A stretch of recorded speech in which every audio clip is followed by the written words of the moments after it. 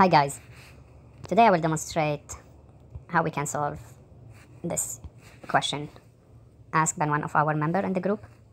He is looking to know how we can make universal copy, the app here, plus.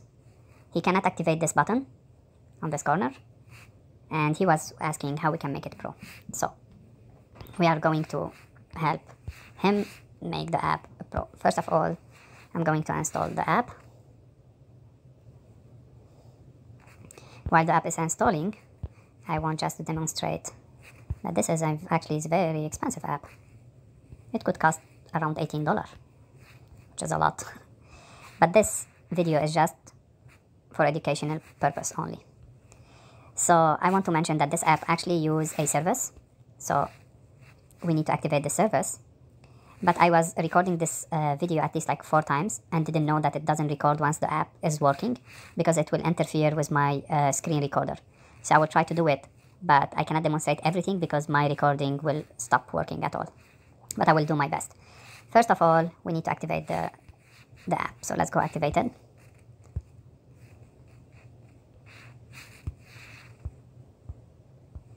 Now the app is activated. If I click on this button, I will see this message here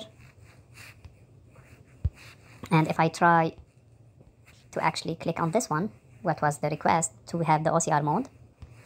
And the OCR mode is allowed you to uh, copy text from a picture because it can analyze any text and convert it to a real text in a, in a uh, file.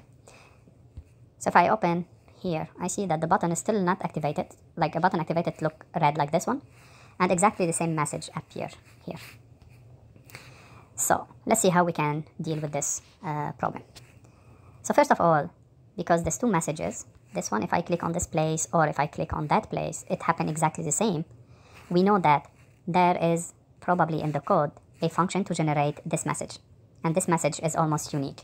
If I go to other options, like make it uh, full screen mode or uh, disable animation or uh, run the app in the background, all of these, I'm not going to run it in the background, but all of these doesn't, uh, doesn't need really a plus mode. The only place need a plus mode is the OCR mode. But the two places request this OCR mode. When I click on it, I will see exactly the same message we see here. So this is interesting to know because we need to investigate before we start cracking an app how it behaves and where we are going to look. And here, I'm going to try to find where this message in the code is and try to bypass this message. Ask the software or the app to not appear this message and to ignore it. So I need to find where it, where it is in the code. For this, I need to find like some specific test text I can uh, like type, I found that below to subscribe here, this syntax or click below to subscribe, subscribe is a unique text. I cannot find anything inside the main page has below to subscribe. If we look like here, there is no place where say below to subscribe, except in this box message here. So let's go to empty manager. I'm going to delete what I did before because I record this video and it failed to record. So let's say universal copy, extract the app, located. Now we are going to open the app. We go directly to resources and we try to find the string which is below to subscribe. Good. Actually, we find all the core of the message. So if you remember, in this box here, there is different section. The first one, we have the title. The second one, we have the, the code. And we have here cancel, monthly, and yearly. Actually, in reality, each part of this box has a different ID. And actually, the box itself has a different ID. So now we find the ID of the content inside of the text here. But because all those happen together, in the code, they should be all together in one model or one method where that it appeared this box. So let's go and investigate now. So now I find this I this box. This box name is OCR upgrade message. But inside the text file, it will not happen that you can find OCR upgrade message. You will find the ID number of this message. So the ID number of this message, we copy it. We can verify this ID if it's correct. And we can see that this message happened in English. So we can see it in English. This feature is included in Universal Copy Plus. Click below to subscribe, as we saw in our app. Now, if someone use, like let's say, Spanish, or French, or Polonaise, or, or uh, Portuguese, let's take like French one. If one has a French phone, and he set the language to French, he's going to see this message. And instead of seeing the English part, he's going to see like cette fonction est disponible dans l'abonnement universel Copy Plus.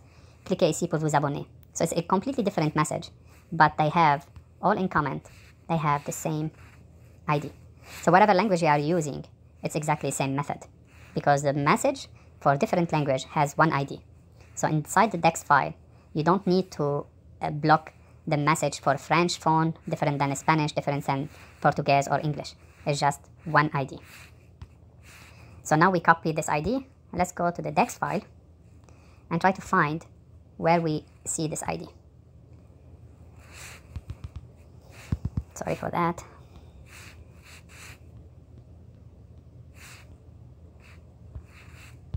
Let's search for the ID. Okay, so this ID message happened once in the file. So we are lucky. So this is, it looks like it's an easy um, modding. So let's click on it. Okay, it's happened here. So it's this one here. But investigating this block here, quickly, we notice that we have different code was loaded first or different ID was loaded, as you can see here. And then at the end, we see a, a like a show show dialog box. So I suspect that this is exactly this block here. So I went, I'm not going to show you here, but I investigate each block what it means. Like this one here, I found it is referencing the XML file. This one here is the title. This one here is the body. And the other part are for the button, like cancel, uh, cancel monthly and yearly.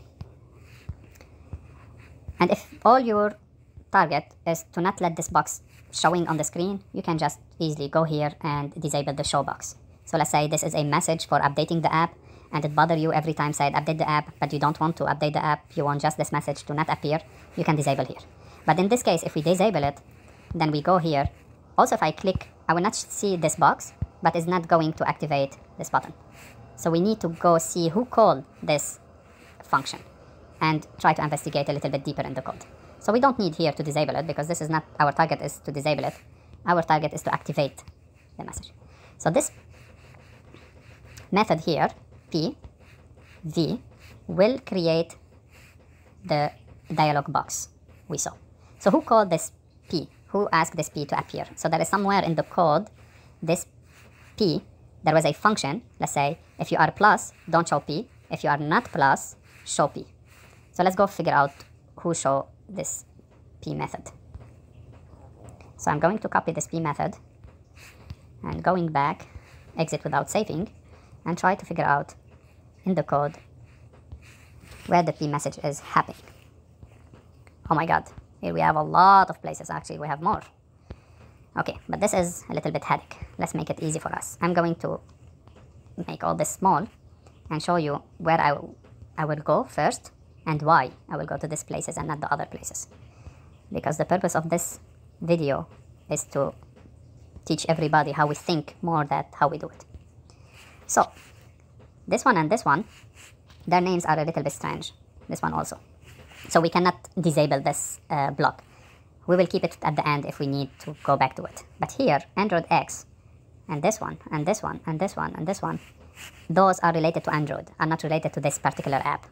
The same thing happen on all these blocks. So the remaining block are these three are related to the app and those three. I will start actually investigating here. If I fail to find anything, then I will go inside those two and maybe the right function will be called inside those blocks. So for now, let's go and check those. I'm going to start with the first one. If you are lucky, we can find the solution just with the first one and we don't need to go for the others. So here in the first one, we find that the this box appear four times. We don't know where we start, but usually it's just like an investigation. So I will go for the first one and see what the code give me if, if it has any meaning or not. So we're going to first one. The title is already very interesting. I said that this box appear in the preference page. And we know all that this is the preference page. So probably we are here. We are in the right spot. But let's check. So something else we noticed that the P happened at the end of the code. And before this happened, there is some test happening. Like there is test here, there is test here. So here it's promising because we, we know that for this uh, bad boy or bad dialogue happen, ask us to pay, those conditions will decide if this will happen or not. So let's investigate further. This P is the last function, so it's here. I'm going to put a mark on line 82. But we know that on line 69 said we have a condition. If its condition is true, go to condition 27. Condition 27 actually passed this function p, past the line 82.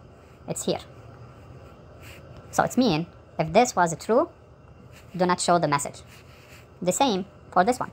If this condition also is true, skip, don't show this message. Those are interesting. So we can simply go and said, you know what, I don't want to make any condition here.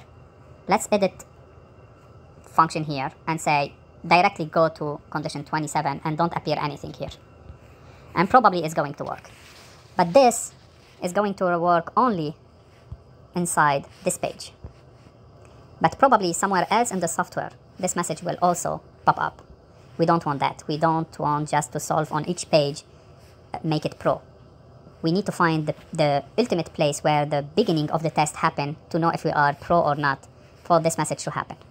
So let's go deep, deeper inside the code and try to understand what's happening here.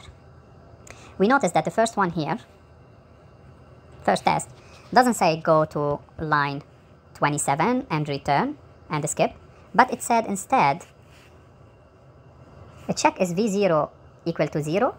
If it's equal to 0, go to condition 10, which is here, and do those stuff. If it was equal to 1, return v1, and v1 equal 1. Okay, this is interesting, but where is v0? So this is mean in, in English. Check if v0 equals 0, then continue. If v0 equal 1, for sure don't show the message because just return true, return v1 and skip everything below. But if 0 equals 0, go here and do this two tests. Okay? Now we want v0 to be 1 because if v0 is 1, we already skip everything and we make it work. We don't need to do this to test and check what's happened and whatever. And if you look on this one here, this one is a switch preference and it's checked. So this is actually check if this one is on or off. So we don't want this. We want to say we are pro already. So let's see who set the v0. The v0 is set in this function here, in the function below. And the value is coming from here. Because this function finished by z, z mean boolean, so it's inside this, this call function, we are going to have 0 or 1 on the output, and this 0 or 1 is going to be transferred to this value, and uh, if this value is 0, we need to do extra test. If this value is 1, go out and don't show this message. Logic is, why we don't go inside this and see how we can make it all the time 1. We go inside this function, and we notice that whatever is going to happen inside this function the decision if the output will be 0 or 1 also is decided in another test function. This function here, O, is also boolean, and if it was true or 1, is going to set this one to 1, and if it was false or 0, is going to, to make all the CZ 0. So that means we need to go deeper in the code and see who set this to 1 or 0. Okay, so this also has, it's funny, this is also has another function where it tests if it is 0 or 1 and would set this value where it set this 0 or 1. So I check, okay, why not go inside this? Mm -hmm. Here we said we arrived to the private field. So it's mean like here we cannot change this one. So the only way we can make this function, one, we cannot go any more deeper in the code, is just to force it, sorry for that, that just to force the code to return all the time true or 1 like that because if we go deeper inside the call we found that this one we cannot go deeper this one is set here. And when we set this to true, the output to true, the function OZ will be true. So let's save it. And if the function OZ will be true, then we know if this one is true, it's going to give B0 true. So it means CZ also is true. And if CZ is true, we know that the return here will be 1 and the condition v10 will not be will not happen. And just we are going to return what is in the value v1 which is 1 so let's compile it and see if it's work. If it doesn't work then we need to check what's happening in the other. If it works then we are done. Go back. Let's install it and test it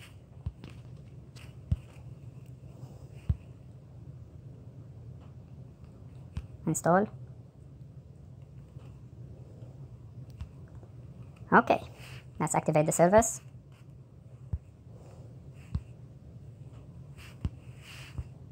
The moment of the truth. Okay, something really good happened.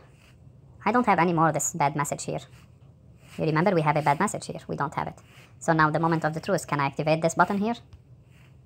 Yes, I can. Now activate the button. Let's see if it's activate the options inside. So let's go and test it, let's say in the group. Uh, to test it, you need to click on it. So usually, I don't know if you can see this in the, in the video, but usually when I activate uh, this to happen on the top of the screen, it disables my video recording. So maybe you can just hear my voice. But trust me, it works. So if I click on the normal or I click on the OCR plus, both of them are happening. So here is a universal coupling We start capturing everything that display on your screen. And because of that, it's going to disable my video recording. But I tested and it's worked really well. Now I will let you test it on your uh, phones. But trust me on words, now it's open and it's uh, it became a pro. Thank you very much.